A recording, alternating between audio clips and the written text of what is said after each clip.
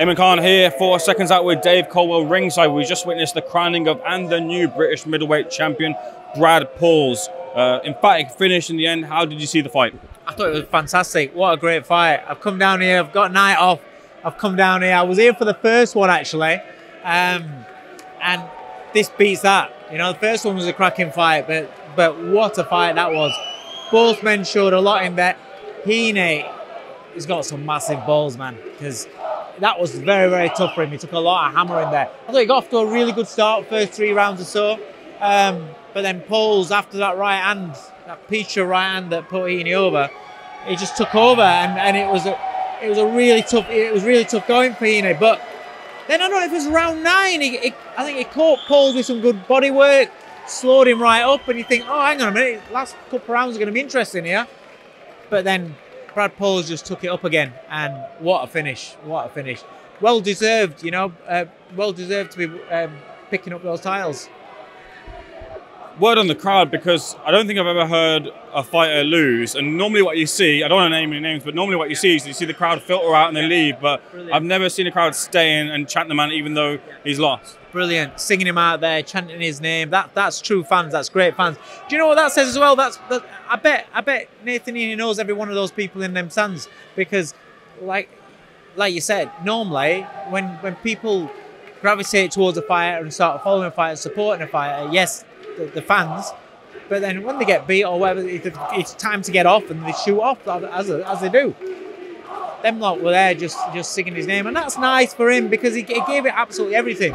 He got beat, but he gave it everything he got. You know, he had nothing left at the end of that fight. And, and I think as fans, and you know, count myself as a as a boxing fan, as fans, that's all you want is you want you want the fighters to give give everything they've got. And sometimes they win, sometimes they lose. Dave, let's get to some boxing talk in the wider boxing sphere. First of all, next weekend sees Joe Joyce versus Dereck Chisora. You've worked closely with Dereck Chisora in the past. Do you feel that you can wind back some of the years and get the victory over Joyce, who for some feel like time's now to get him off the back of the, the two Zhang defeats? Could he? Yes, he could. Because, you, I mean, one thing you'd say about Joe Joyce is he's not physically hard to hit. Um, and if Dereck cashed in one of those overrun rights, who knows what happens? Um, you know, he's, he's got a good left up to the body. He's got a great overrun right. Who knows? But Joy, when you when you see him in there, Joyce is a much bigger man. For me, this is a fight where it's a case of who's got the most left.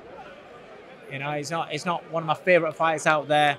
I understand why it's happening, um, and I've heard it's, it's Dereck's last um, last fight at the O2. I'm happy to hear that.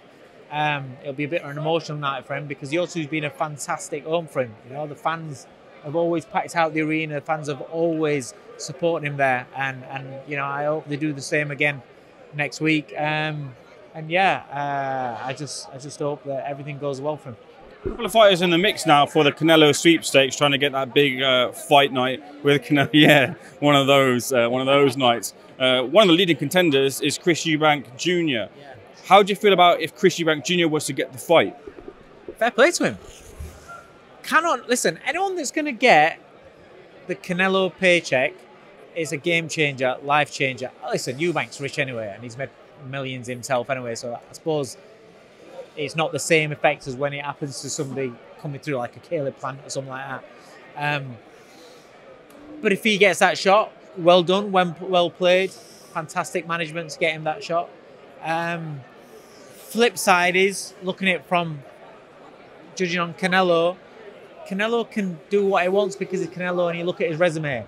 But for me, as a boxing fan, Canelo fan, I would like him to, you know, there's, there's Benavidez out there, and it's like, come on, you know. You, I keep saying it when Mayweather, people talk about Mayweather cherry picking opponents, or they all do it, but when Mayweather saw young hungry heir apparent coming through, which was Canelo, and Mayweather was old at that time, he fought Canelo.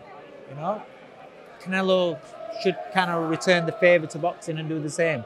And you know, if he beats Benavidez, amazing. If he doesn't, then he's, he's you know he's boxing and he's, he's passed the torch on, so to speak. But I dare say he'll probably probably you know eh, the figures that they've talked about with that, I don't. I just don't think that happens. If the fight was to get made, bearing in mind some in the industry feel that Canelo might be slipping a bit, how big is the gap between the two? Because of, because of age, age, wear and tear. He's been a pro since he was 15 years old, so it's natural if he's if he's slipping. His punch output, his activity is not as not as not the same. I'm not talking about fight activity. I'm talking about during the fight. His activity isn't the same as what it used to be.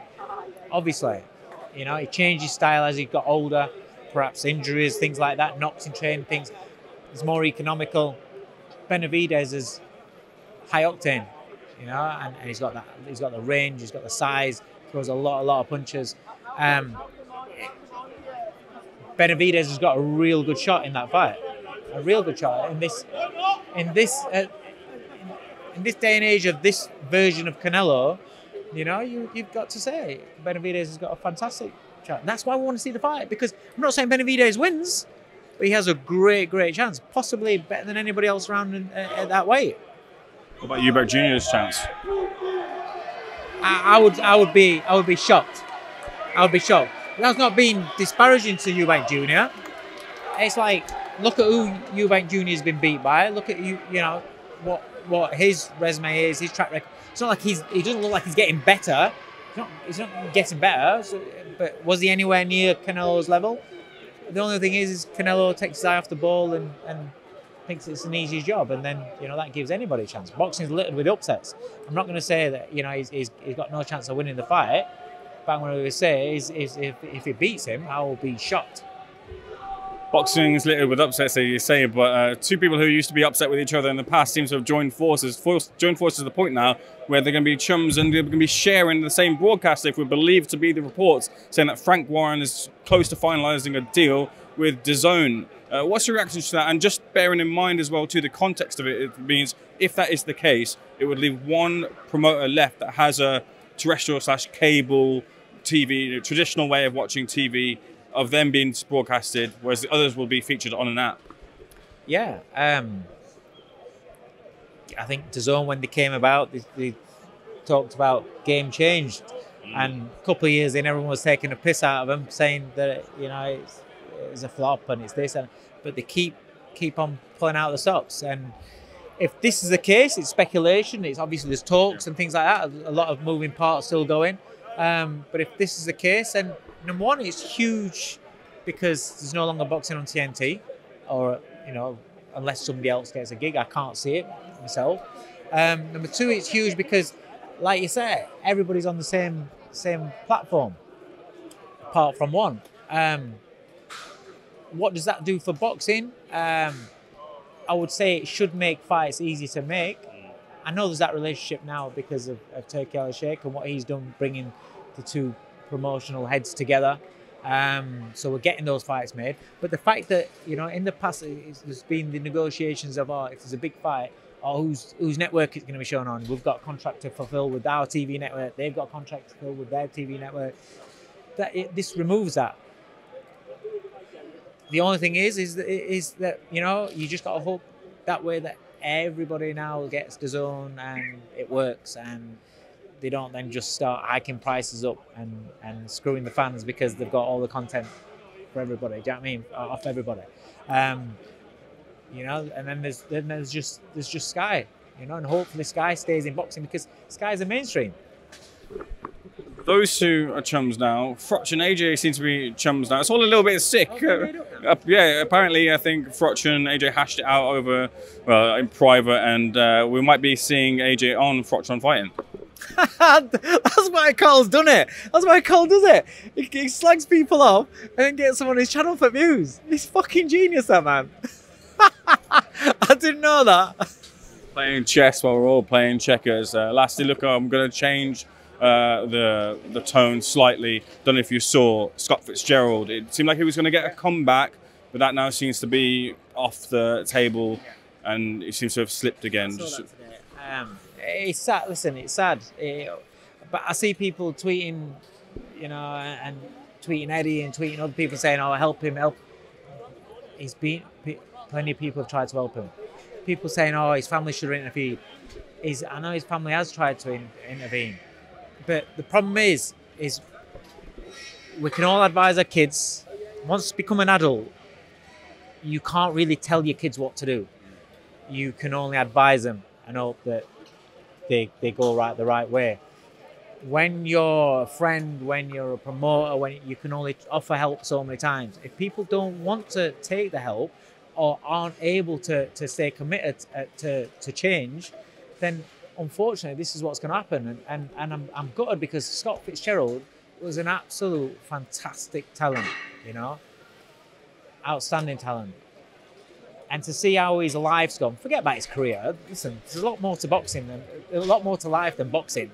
You know, it, boxing's only that much of, of your life. You know, please God, you've got a long life afterwards. And to look at what's happened to him for the rest of his life now, away from that one night, that last night he had in boxing, it's a travesty. And it's, it's you know, I'm, I'm, I'm gutted for him.